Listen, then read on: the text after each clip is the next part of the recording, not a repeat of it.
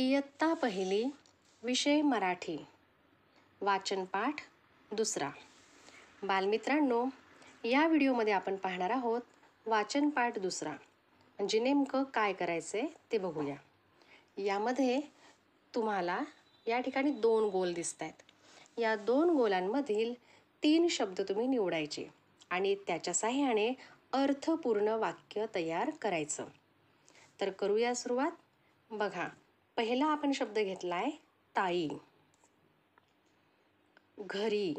आणि तिसरा शब्द घेतला आहे आली. आता याच्यापासून अर्थपूर्ण वाक्य तयार झालेलं आहे. ताई घरी आली. तर असेच शब्द निवडायचे की ज्यापासून वाक्य तयार होईल. पुढील वाक्य आपण तयार करूया. चेतन काम कर. चेतन काम कर. नवीन वाक्य बघा.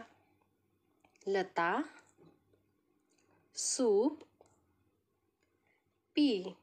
आपलं पुढील वाक्य तयार झालेलं आहे. लता सूप पी. आता बघूया कोणते शब्द घ्यायचे.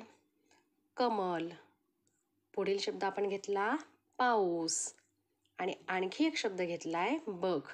आपलं वाक्य तयार झालं आहे. कमल पाऊस बघ. बघा पुढील वाक्य आपण बनवत आहोत.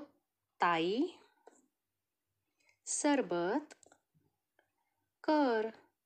ताई सरबत कर. आता पुन्हा काही आपण शब्द घेऊया. जसा शब्द घेतला या ठिकाणी चेतन. नंतर घेतलाय शब्द चहा. आणि पुढील शब्द घेतलाय घे. तर आपलं वाक्य तयार झालेलं आहे.